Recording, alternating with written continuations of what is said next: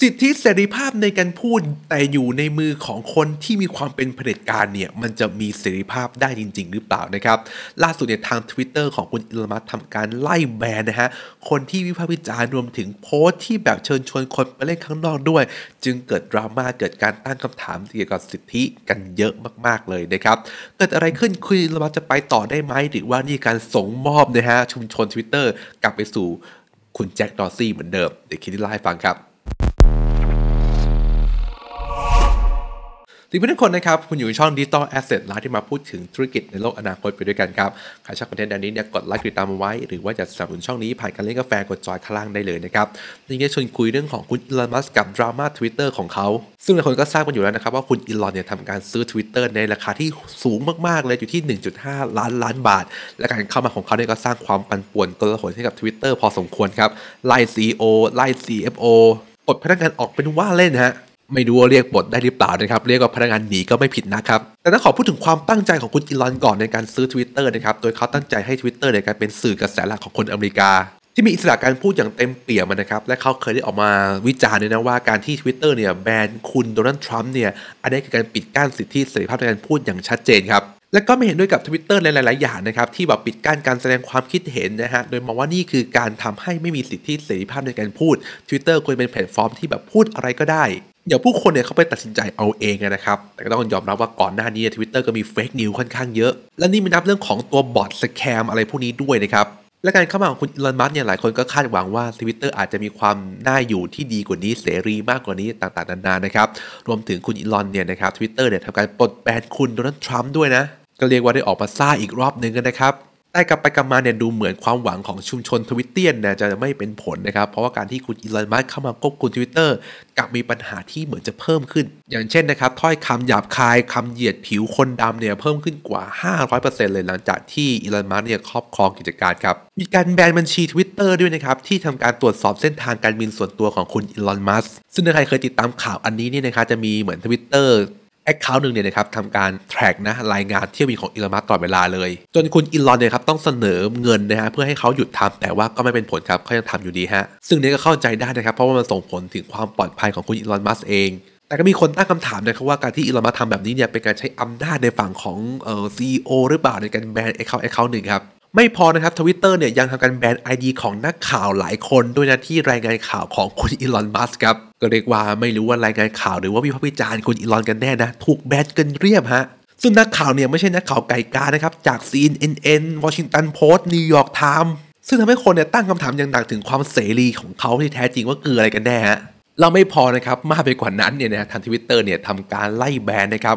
ลิงก์ทุกลิงก์เลยนะที่ส่งออกผู้ใช้ของพวกเขาเนี่ยไปยังแพลตฟอร์มอื่นๆ เช่น Instagram อะไรพวกนี้ อารมณ์แบบว่าถ้าคุณเนี่ยนะครับส่งลิงก์แบบไป Instagram ให้เพื่อนมาดูรูปนี้สิ ดูวิดีโอนี้ใน Facebook ดูวิดีโอนี้ใน YouTube ดิโดนแบนลิงก์นะฮะ ซึ่งคุณอีลอนเนี่ยบอกว่า Twitter นะครับไม่ใช่พื้นที่ฟรีๆของคู่แข่งที่จะมาโปรโมทในตรงนี้ได้ครับ ซึ่งเรื่องเนี่ยดูเหมือนจะบานปลายนะครับ และในฝั่งของนโยบายของ Twitter เนี่ยก็ดูเหมือนจะสุดโต่งขึ้นไปเรื่อยๆ ด้วยทำให้หลายแพลตฟอร์มเนี่ยเริ่มจะเพ่งเล็งรวมถึงการแบนด้วยครับ เอาองค์กรแรกก่อนเลยครับ นั่นคือสหภาพยุโรปนั่นเองนะ มีการขู่แบนทวิตเตอร์ด้วยหลังจากที่คุณอีลอนมัสก์หลังจากที่ทวิตเตอร์เนี่ยนะครับระงับบัญชีของนักข่าวที่วิจารณ์อีลอนมัสก์ครับซึ่งพวกเขามองว่านี่คือเส้นตายที่ห้ามล้ำนะครับ การปิดปากนักข่าวเนี่ยการละเมิดสิทธิเสรีภาพในการรายงานข่าว อันนี้คือสิ่งที่อันตรายมากๆ มันคือสิทธิเสรีภาพขั้นพื้นฐานของสื่อมวลชนนะครับ และการทำแบบนี้ปุ๊บเป็นเรื่องที่ยอมไม่ได้ และเขาจะขู่จะแบนทวิตเตอร์นี้ให้สิ้นซากอีกด้วยครับ นอกจากสภาพยุโรปแล้วนะครับ ยังมีประเด็นเรื่องของ Android และก็ iPhone ด้วยนะ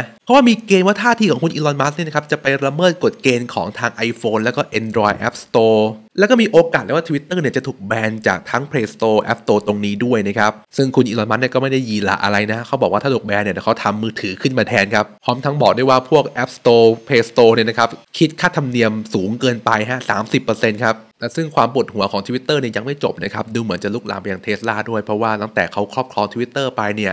หุ้นเทสลาล่วงไปอีก 28%เลยนะครับ อันนี้คือความวุ่นวายของ Twitter ในมือของคุณอีลอน มัสนะครับ ที่มีท่าทีแนวโน้มจะเป็นฝั่งเผด็จการนะเผด็จการนี่ไม่บอกไม่ดีนะครับ ผู้ประกอบการหลายคนเนี่ยที่มีพลังสูงๆเช่นสตีฟจ็อบส์เนี่ยนะครับก็มีทักษะหรือความโน้มเอียงไปยังเผด็จการหรือว่ารวมศูนย์ทางความคิดตัวเองครับดังนั้นก็ไม่แปลกใจนะครับว่าแพลตฟอร์มที่ต้องการจะไปในฝั่งของอิสระเสรีภาพ สิทธิในการพูดเนี่ยแต่อยู่ในมือของแบบผู้คนผู้ประกอบการที่มีความเป็นเผด็จการเนี่ยมันจะไปได้สักกี่น้ำหากพูดถึงจุดเริ่มต้นของทาง Twitter นะครับก็ต้องนึกถึงนายคนนี้ฮะคือคุณแจ็คดอร์ซี่นะ เขาได้ตั้งใจทำแพลตฟอร์มนี้ขึ้นมาเป็นพื้นที่ free speech จริงๆนะครับหรือว่าเน้นการพูดสิ่งที่อยู่ในใจ ใครๆก็แสดงออกได้โดยที่ไม่ต้องกังวลว่าจะมีใครมาด่ามาว่าหรือมาหาตัวตนนะครับทำให้แพลตฟอร์ม Twitter อันนี้นะครับไม่ได้ขอความเป็นส่วนตัวจากผู้คนนะเก่าคือคุณจะเป็นใครก็ได้ คุณจะเปิดแอคหลุมก็ได้ คุณจะไม่มีตัวตนเลยก็ได้เอาหน้าการ์ตูนการ์ตูนมาใส่ก็ได้ดังนั้นการที่คุณเนี่ยไม่ต้องแสดงตัวตนเนี่ยคนก็อาจจะกล้าพูดความจริงมากยิ่งขึ้นก็ได้นะครับ อันนี้เข้าใจได้นะพอเรามีหน้ามีตาเนี่ยเราก็อาจจะไม่กล้าพูดความจริงก็ได้นะกลัวโดนด่ากลัวโดนเล่นอะไรประมาณนี้นะครับนั้นทำให้ Twitter เนี่ยก็เป็นแพลตฟอร์มที่คนพูดสิ่งในใจออกมามากที่สุดนั่นเอง แต่พอมันไม่มีตัวตนเนี่ยนะครับคนจะพูดอะไรก็ได้รวมถึงเป็น scam เป็น fake news เนี่ยก็เกิดขึ้นมามากใน Twitter เช่นเดียวกันและอีกอย่างนึงเนี่ยทวิตเตอร์เองก็เป็นบริษัทมหาชนนะครับที่มีนักลงทุนต่างๆนานาทำให้แนวคิดของคุณแจ็คดอร์ซี่ผู้ก่อตั้งเนี่ยก็ถูกบดบังพอสมควรจากนักลงทุนที่ต้องหากำไรแต่ว่าทวิตเตอร์เนี่ยขาดทุนมานานรวมถึงจะเจ๊งด้วยนะครับทำให้คุณแจ็คเนี่ยออกมาตัดพ้อหลายครั้งว่าเขาเนี่ยไม่สามารถทำให้ทวิตเตอร์เป็นอย่างที่เขาต้องการได้นะเนื่องด้วยความกดดันหลาย ๆ อย่างและเขาก็เชื่อเรื่องของการกระจายอำนาจนะครับ และเขาก็เป็น Bitcoiner ตัวยงนั่นเอง ตอนที่ทวิตเตอร์ถูกซื้อไปนี่นะครับ คุณแจ็คก็ได้ออกมาขอโทษพนักงานด้วยนะที่ขยายทวิตเตอร์ใหญ่เกินไปทำให้คนเนี่ยต้องถูกไล่ออกมากมายแบบนี้ครับ พร้อมทั้งเขาเนี่ยนะครับยังคงแนวคิดเดิมๆนะโดยการที่จะสร้างโซเชียลมีเดียที่มีความกระจายอำนาจมากขึ้น ล่าสุดเนี่ยนะครับคุณแจ็คเนี่ยก็ได้เปิดตัวแพลตฟอร์มชื่อว่า Bluesky นะครับซึ่งเป็นโซเชียลมีเดียแบบใหม่นะที่มีความกระจายอำนาจ มีสิทธิเสรีภาพในการพูด หรือพูดอีกอย่างนึงคือเป็น Twitter ที่เขาเห็นตั้งแต่วันแรกจริงๆอะโดยที่ไม่ได้มีความแบบนักลงทุนหรือว่าบรรดา regulator เนี่ยมาตีกรอบของพวกเขานะครับ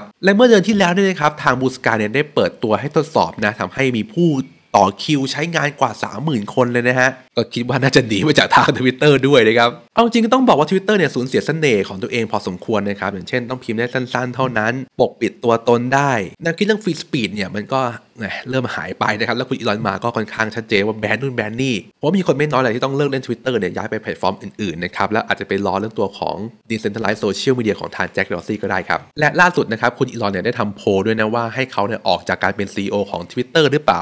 ซึ่งคนส่วนใหญ่นะครับก็ให้เขาออกนะ แล้วเขาก็ได้บอกเลยว่าเขาจะออกนะครับพร้อมสละตำแหน่งหากหาคนที่โง่พอมาเป็น CEO คนใหม่ได้นะ และเขาจะทำงานในฝั่งของเซิร์ฟเวอร์ฝั่งของซอฟต์แวร์แทนนั่นเองครับ ซึ่งคำพูดที่เห็นอะไรหลาย ๆ อย่างนะแปลว่าเขาเองก็พร้อมจะเปลี่ยนแปลงนะรวมถึงหาคนที่เหมาะสมกับอุดมการณ์ของ Twitter ด้วยนะครับแล้วก็มีคนเสนอด้วยนะอย่างเช่นคุณเอ็ดเวิร์ดสโนว์เดนนะครับเสนอตัวนั่งคุม Twitter แทน หลังจากคนใน Twitter เนี่ยไม่สนับสนุนอีลอนมัสก์นั่นเองนะครับถ้าเป็นคนนี้ก็น่าสนใจนะเป็นแนว decentralized ตัวยงนะครับ free speech ตัวยงเลยนะฮะเอ็ดเวิร์ดสโนว์เดน เรื่องราวของเขาเนี่ยน่าสนใจมากๆ อาจจะไม่ได้พูดในคลิปนี้นะครับ แต่คลิปหลังๆถ้ามีโอกาสจะมาเล่าให้ฟังครับ และนี่คือความวุ่นวายของอีลอนมัสก์แล้วก็ทวิตเตอร์ของเขานะครับ และเพื่อนๆเห็นว่ายังไงบ้างล่ะ คนที่เล่นทวิตเตอร์เป็นทวิตเตี้ยนเนี่ยคุณมองว่าอีลอนมัสก์เหมาะกับการเป็น CEO ไหม หรือว่าทวิตเตอร์สูญเสีย ความเป็นเสน่ห์แล้วหรือเปล่า หรือว่าที่ทางของอีลอนมัสก์เนี่ยถูกต้องแล้วเนี่ยคอมเมนต์มาบอกกันหน่อยนะครับ วันนี้ขอบคุณทุกคนที่นั่งฟังจนจบถ้าคุณชอบอย่าลืมกดไลค์กดติดตามช่อง Digital Asset Line ด้วยนะฝากติดตามกันเยอะๆเลยนะครับจะมาเล่าเรื่องของเทคโนโลยีเรื่องของ future เรื่องของอนาคตแล้วก็ธุรกิจไปด้วยกัน หรือว่าถ้าใครก็ตามที่อยากจะสนับสนุนช่องนี้นะครับผ่านการเลี้ยงกาแฟก็กดจอยข้างล่างได้เลยเช่นเดียวกันนะครับผมก็จะทำคอนเทนต์นะเพื่อให้คนได้มีเรื่องราวของ tech เรื่องของธุรกิจมาคุยคุยกันครับขอบคุณทุกคนแล้วเจอคลิปหน้าครับสวัสดีครับ